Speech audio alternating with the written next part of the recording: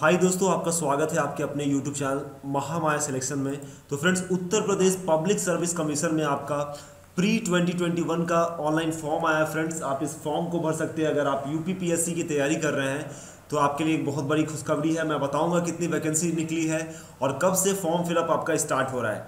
तो चलिए फ्रेंड्स जो भी पहले, पहली बार हमारे चैनल पर विज़िट कर रहे हैं, सबसे पहले हमारे चैनल महामाया सिलेक्शन सब्सक्राइब कर दीजिए और बेल आइकन दबा दीजिए कि जितने वीडियोस हमारे चैनल पर डलाए सबसे पहले आपको मिले।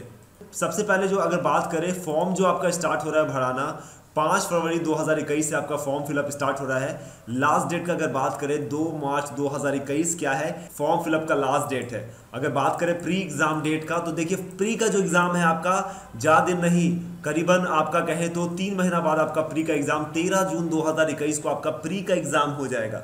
अगर आप यूपीपीएससी की तैयारी कर रहे हैं तो एप्लीकेशन फ़ी का अगर बात करें अनरिजर्व कैटेगरी से आप बिलोंग करते हैं या ओबीसी से तो आपको एक सौ रुपया एप्लीकेशन फ़ीस है फॉर्म भरने में आपको। कॉस्ट लगेगा। अगर आप एस सी हैं तो आपको पैंसठ रुपया, मात्र पैंसठ रुपया में आप फॉर्म भर सकते हैं और पीएच कैंडिडेट के लिए फिजिकली हैंडीकैप कैंडिडेट को पच्चीस रुपया फॉर्म फिलअप में लगेगा। एज लिमिट क्या है फ्रेंड? तो एज लिमिट की अगर बात करें ना तो देखिए फ्रेंड्स, यहाँ पे थोड़ा सा मिस्टेक हो गया, मिनिमम, मैक्सिमम अपोजिट हो गया है। तो मैक्सिमम, मिनिमम जो एज लिमिट है ना, वो कितना है? 21 वन ईयर्स है और मैक्सिमम जो है एज, वो 40 ईयर्स होना चाहिए, इससे ज़्यादा नहीं। टोटल वैकेंसी का अगर बात करें ना तो 400 पोस्ट जो है टोटल वैकेंसी है। 400 वैकेंसी है फ्रेंड्स टोटल अच्छी खासी वैकेंसी आई है यूपी में। एलिजिबिलिटी क्राइटेरिया का बात करें तो बैचलर डिग्री आपके पास होना चाहिए in any stream in any recognised board in India okay ये आपका क्या है? एलिजिबिलिटी क्राइटेरिया है। नेक्स्ट बात करते हैं फ्रेंड्स अगला क्या है? देखिए कौन कौन से पोस्ट आपके निकले हुए हैं, आपके यूपी पीएससी में? तो सब रजिस्ट्रार का पोस्ट है असिस्टेंट प्रोसिक्यूटिंग ऑफिसर जिनके पास बैचलर डिग्री इन लॉ है, वो इस पोस्ट के लिए अप्लाई कर सकते हैं। दूसरा पोस्ट है, डिस्ट्रिक्ट बेसिक शिक्षा अधिकारी associate, DIOS and other equivalent administrative post, district administrative officer. अगर इस पोस्ट के लिए आप अप्लाई करना चाहते हैं तो मास्टर डिग्री अगर आप किसी भी स्ट्रीम से किया ना तो इस पोस्ट के लिए आप एलिजिबल होंगे। अगर आप कॉमर्स से ग्रेजुएट है तो आप डिस्ट्रिक्ट ऑडिट ऑफिसर के लिए, पोस्ट के लिए अप्लाई कर सकते हैं, एलिजिबल हैं। अगर आपने बैचलर डिग्री साइंस और विद फिजिक्स और मैकेनिकल इंजीनियरिंग किया हुआ है तो आप assistant controller legal measurement grade one grade two के लिए एलिजिबल होंगे। अगर आपने bachelor degree in arts with sociology और इकोनॉमिक्स और सब्जेक्ट और कॉमर्स लॉ किया है तो आप असिस्टेंट लेवल कमिश्नर पोस्ट के लिए एलिजिबल हैं। Bachelor degree in sociology social science और होम साइंस और सोशल वर्क किया है तो डिस्ट्रिक्ट प्रोग्राम ऑफिसर के लिए आप क्या हैं? एलिजिबल हैं। नेक्स्ट बात करते हैं। देखिए फ्रेंड्स बहुत सारे पोस्ट हैं अलग अलग डिफरेंट डिफरेंट विभाग में हैं। सीनियर लेक्चरर एंड डाइट के लिए आपका मास्टर डिग्री विथ बीएड होना चाहिए आपका, ठीक है?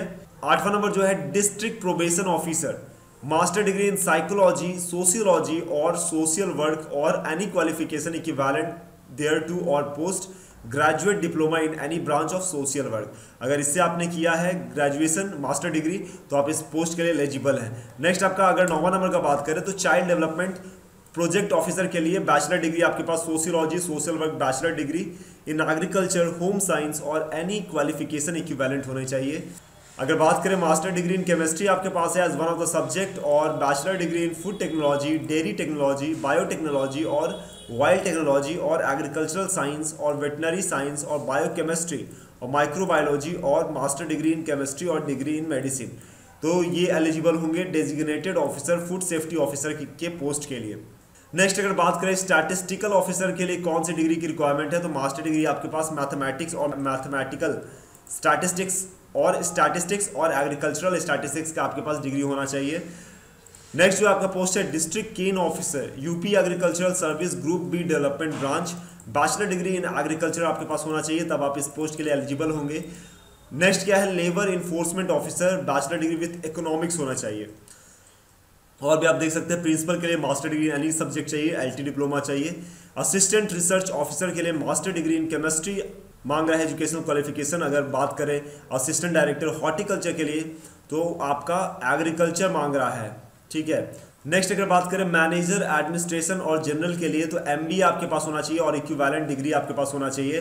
अठारह नंबर अगर बात करें असिस्टेंट स्टोर परचेज ऑफिसर के लिए एमबीए का डिग्री आपके पास होना चाहिए और टेक्निकल असिस्टेंट केमिस्ट्री के लिए master degree in chemistry with minimum 50 percent marks चाहिए। तो फ्रेंड्स ये सब पोस्ट और कौन कौन से पोस्ट के लिए कौन से बंदे अप्लाई कर सकते हैं और उसकी क्या क्या एलिजिबिलिटी है, मैंने आपको बता दिया।